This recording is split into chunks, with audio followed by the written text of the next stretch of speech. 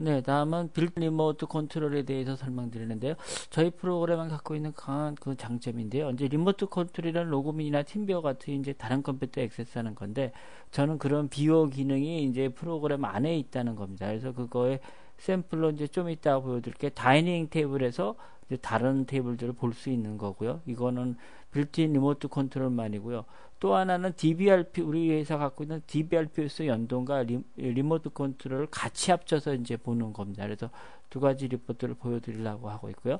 그 다음에 그래서 이런 것들을 이용해서 할 수 있는 것들이 이제 어, 매장을 여러 개 갖고 있는 경우에 쉽게 이제 다른 매장 사항을 체크할 수 있다는 거고요. DVR뿐만 아니라 화면까지 체크한다는 거고요.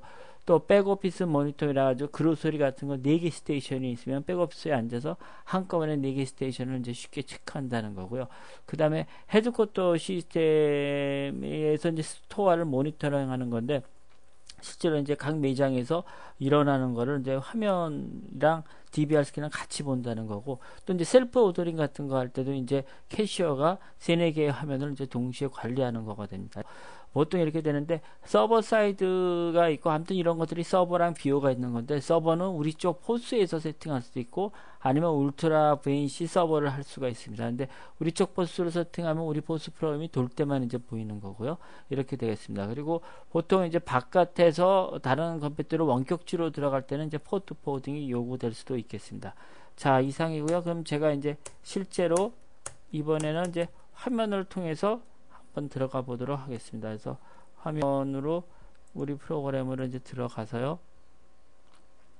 이제 들어가서 보여드리도록 하겠습니다. 아까 먼저 dining에 있는 화면에서 dining에서 이제 테이블을 잘 안 쓰면은 여기 룸 하나 둘 셋 넷 다섯 번째다 만들어 놨는데 이런 식으로 이렇게 테이블에 다른 컴퓨터가 이렇게 지금 보이는 겁니다. 이 안에서. 그러니까 이 화면에다가 예를 들면 back office라 그러면 하나, 둘, 셋, 네 개를 이렇게 설치하고 계속 보고 있으면 됩니다. 무슨 operation을 하는지, 인터넷을 하는지, 이런 것들을 다 파악할 수가 있는 거고요. 이거는 이제 remote control만 들어 있는 거고요.